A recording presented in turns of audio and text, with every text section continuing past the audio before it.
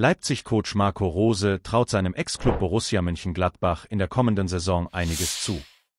Am Freitag war Rose kurzerhand von Leipzig nach Gladbach geflogen, um in Willig zu helfen, für den an DMS, einer Vorform der Leukämie, erkrankten Niklas neue Stammzellenspender zu finden und registrieren zu lassen. Klar, dass bei seiner Rückkehr an den Niederrhein auch sein Ex-Club Gladbach ein Thema war. Zumal der erkrankte Niklas ein bekennender Borussia-Fan ist. Auf die Frage von Bild, ob er Niklas nach der enttäuschenden letzten Saison wieder Hoffnung für die Zukunft machen könne, antwortete Rose, auf jeden Fall. Borussia ist nach wie vor ein außergewöhnlicher und toller Traditionsverein mit einer Menge Power. Man hat immer mal Phasen, in denen es schwierig ist. Die Fans stehen hinter dem Verein, das ist das größte Faustpfand. Erose sieht die Verpflichtungen von Tim Kleindienst, Kevin Stöger und Philipp Sander als sehr positiv an. Ich habe ein gutes Gefühl, wenn ich sehe, was Borussia diese Saison schon verpflichtet hat. Das sind Jungs, die in der ersten oder zweiten Liga Führungsspieler waren, die fußballerische Qualität haben, die Mentalität haben. Und am Ende kommt es dann immer ein wenig auf die Mischung und die Chemie in der Mannschaft an.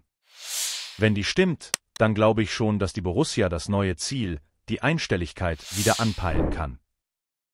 Fakt ist, unter Rose schaffte es Gladbach in der Saison 2019-20 mit Platz 4 das bisher letzte Mal, sich für die Champions League zu qualifizieren, wo dann erst im Achtelfinale gegen Manchester City Endstation war.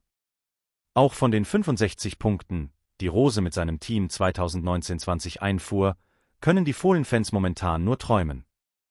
Besser als diese Rose-Ausbeute schnitt Borussia in der Bundesliga seit der Einführung der Drei-Punkte-Regel im Jahr 1995 nur einmal ab, in der Saison 2014-15 holte Lucien Favre mit seinem Team sogar 66 Zähler.